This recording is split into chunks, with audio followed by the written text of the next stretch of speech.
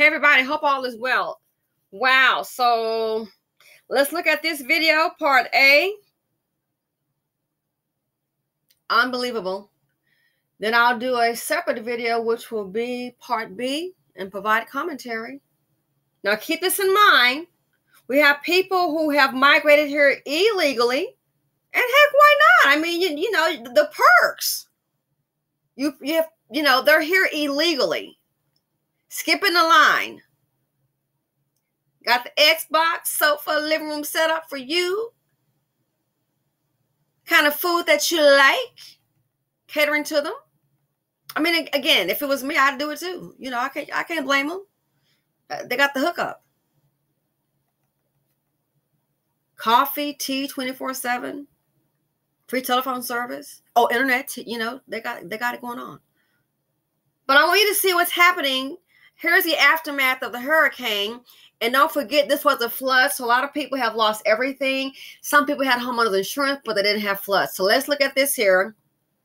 Part A. And then I will stick around for part B, a separate video, which will be the commentary. So you check this out. For Kurt Bartholomew, reading a book is the one thing that is getting him through the day. Wonderful. I spend six days a week at the library. He says he's gone through tough days before, but nothing as painful as having no place to live. Mm. That's me. And it looks like chaos, but Mm, organized chaos. a bit Now, outside. He's camping out at a Walmart parking lot outside Fort Myers. A few things he has were donated to him. They gave me a mattress. They gave me a tent. I bought that bag to put everything in. And uh,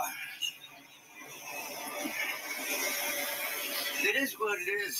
So you lost everything in the hurricane. Oh, yeah. Start over. Keep it to a minimum. Mm. Because I got to carry it around. One Hmm. could say Bartholomew's resilience is admirable. He almost died when Hurricane Ian storm surge made its way into the Fort Myers Beach Church. He found shelter. We probably had storm surge between 14 and 20 feet wow. from sea level. And My I was covered in mud. I was disgusting looking. The 64 year old man isn't the only one camping out here at this parking lot. We've seen several of these improvised tents scattered around the lot. Mm. Residents who once had a home but lost it all to Hurricane Ian, some of them scared of getting kicked out of this lot. Wow. What's next for you? Find a place to spend the night.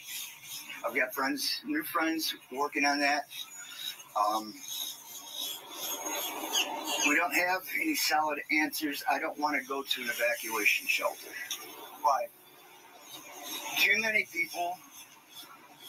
I suspect there's going to be crime, and I talked with someone that stayed there, and he said it's like a jail. You, you're not free to come and go. This is what I've heard.